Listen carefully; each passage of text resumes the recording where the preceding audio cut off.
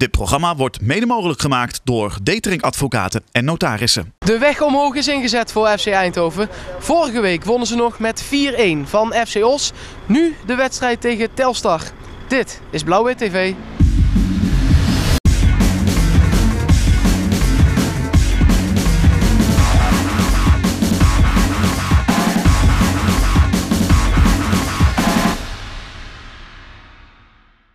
Hele welkom bij Studio 040 Blauw-Wit TV met een uitwedstrijd tegen Telstar voor de boeg voor FC Eindhoven. Ja, en kan FC Eindhoven de goede lijn van vorige week doortrekken? Telstar staat op 8 punten, dat is één puntje meer dan FC Eindhoven. Dus mocht Eindhoven winnen, dan gaan ze daar in ieder geval alvast overheen. Stijgen ze weer een plekje, net als vorige week. En daar hopen we natuurlijk op. Of dat ook is gelukt, dat zie je nu. Telstar en FC Eindhoven zijn twee ploegen die terugkijken op een slechte eerste periode. Eindhoven behaalde maar 7 punten en Telstar slechts 8.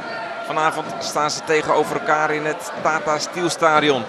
Overtreding op Murphy, zou je denken. Het spel gaat door en Telstar zet druk met Correa. Correa naar Hoefdraad. Hoefdraad glijdt uit, staat op en geeft een paas op Murphy en die gaat erin. Vijf minuten onderweg en de eerste bal ligt al in het net. Hoefdraad het overzicht en dan eigenlijk de te zwakke inzet van Murphy. Een fout van Zari, maar hij telt. Het is de derde van Murphy. Deze twee waren overigens penalties. En weer een kans. Nu voor Seintje. Opnieuw de voorzet van Hoefdraad. Maar deze bal werd geblokt en is op die manier een prooi voor Zari. Telstar, de ploeg die domineert in de eerste helft, sterker is. Hoefdraad met een balletje op links naar Murphy met het schot. En dan Hoefdraad zelf. Ook deze poging is heel zwak. Maar Zari is niet in goede doen. Dit is een hele fraaie beweging van Seintje. Seintje is snel. Seintje op Zari. Seintje maakt 2-0. 25 minuten onderweg. En de Witte Leeuwen staan in eigen huis met 2-0 voor. De actie was natuurlijk prima, maar de afronding mag er ook wezen. Goede zaken voor de ploeg van Marcel Keizer. Eindhoven heeft werkelijk waar niets in te brengen. Heeft het moeilijk. Het spel van Telstar. Dat terwijl de afgelopen periode nog werd gewonnen van Beerschot. Een oefenwedstrijd. Dit misschien kansje. Een kopbal van Korts. Maar makkelijk gevangen door Cor Varkenvisser, de doelman van Telstar. Telstar dat al drie competitiewedstrijden op rij verloor. Wil dus winnen. Heeft het nu misschien even moeilijk. Aardige actie van Souviana Dada. Maar de voorzet of schot is dan niet goed. Maar Eindhoven zet wel aan. Eindhoven met Van Bellen. Beste kans van Eindhoven in de eerste helft. Maar dat zal niet genoeg zijn om John Lammers, de coach, tevreden te stellen. Publiek in Velzen-Zuid is wel tevreden in de tweede helft. Opnieuw een sterk Telstar.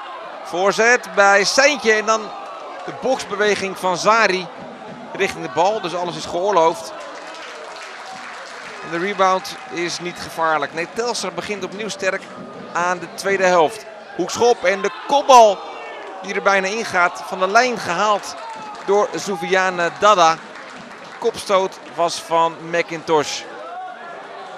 Daarna is het weer de beurt aan Eindhoven. Bezoekers wonnen hun laatste competitiewedstrijd van Os. 4 tegen 1. Maar de ploeg vandaag is geen schim van die ploeg die toen won van Os. Deze poging is fraai van de Verkoelen. Maar de redding mag er ook zijn van Varkenvisser. Dit is een leuk balletje op Korts. Korts alleen op Varkenvisser. Maar Korts heeft veel te veel tijd nodig. En is niet snel genoeg. En daardoor wordt een goede kans om zeep geholpen door de spits van Eindhoven naderen de slotfase. 85ste minuut zo ongeveer. En dan wordt er gefloten. Strafschop, zegt scheidsrechter Jeroen Manschot. Waarom? Dat gaan we zien. Nou, let op de arm van McIntosh. Die doet hem iets omhoog. En daardoor geen aangeschoten hands, maar opzettelijk hands. En zo kan er aan deze score verandering worden gebracht. Korts oog in oog met Varkenvisser. En Korts schiet binnen. 2-1. Nog een paar minuten op de klok. Eindhoven heeft haast. Wil die gelijk maken, forceren. in het restant van de wedstrijd. Maar Telstar wil daar niet aan meewerken. Telstar gaat zelfs voor eigen succes met Seintje. Prima actie, zoekt ruimte voor het schot, maar schiet dan voorlangs. Jammer voor hem. Heeft er natuurlijk al uh, één gemaakt. Wilde graag eentje aan toevoegen. Rice Murphy, de man die Johan Plat moet uh, doen vergeten in uh, Velsen Zuid. Geeft nu een prima voorzet op Cyrilio Seintje. Hij maakt hem dan toch 3-1. Een minuut na de 2-1 is de marge weer 2 door het doelpunt van Seintje. Eindhoven dan bijna 3-2. Wat een gekke wedstrijd is dit. Maar de kopbal wordt van de lijn gehaald. Telstar is dus wakker. Prima paas op Seintje. Goede aanname en 4-1. Nee, de paal. Pech voor hem.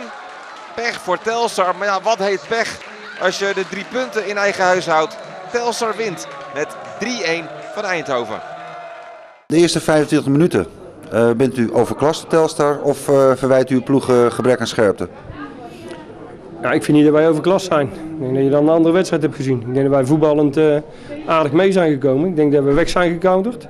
Ik denk dat we in balbezit uh, beter waren. Maar ik denk dat we in, bal, in balbezit tegenpartij erg slecht waren. En dan niet alleen mijn achterhoede, maar heel het elftal. Dus dat is iets anders dan wat jij zegt. Ik denk dat uh, zeker scherpte was fout, gewoon individuele fout achterin. Mag niet gebeuren. De, het is gewoon, als dat niet gebeurt, als je, als je rugdekking, krijgt, rugdekking krijgt van je andere centrale speler, dan kan Sentje niet zomaar op middenveld opendraaien en zo richting keeper lopen. Dat kan gewoon niet. Dat zijn gewoon individuele fouten en als dat zo niet gebeurt, dan verloopt de wedstrijd anders. Want wij voetbalden eigenlijk meer en Telstar speelde op de counter. Dan maakt Kots 2-1. Strafschop, cadeautje vanuit uw ogen? Ja, ik heb het niet gezien, maar ik hoorde dat het Hens was. Dus dan is het geen cadeautje. Want Hensbal is penalty bij mij, dus ik weet niet of het bij jou ook zo is. Ja, goed, ik, ik zie het natuurlijk ook. Maar ik zag dat uh, in principe de bal in de hand ging. En dan is het uh, in de wet geen hens. Ja, ik heb het niet gezien, dus dat zullen jullie op de, op de beelden beter hebben kunnen zien. Maar we krijgen hem en je komt met 2-1 uh, kom je terug. En dan ga je 3-4-3 spelen. En dan hoop je dat ze het oppakken en dat ze in ieder geval het, het vuur, uh, heilige vuur gaan zien. En dat uh, de eerste beste aanval krijgen we gelijk weer een doelpunt tegen, omdat wij onze tegenstander willen laten lopen. En dat is frustrerend. Waar iedereen hoopte dat FC Eindhoven na die overwinning op FC Os de lijn omhoog door zou kunnen trekken, is dat niet helemaal gelukt. Verlies voor de ploeg uit Eindhoven. En dat is jammer, zeker met volgende week Sparta dat op bezoek komt in het Jan Lauwer Stadion. Dan zijn we er natuurlijk wel weer bij. Dus tot dan.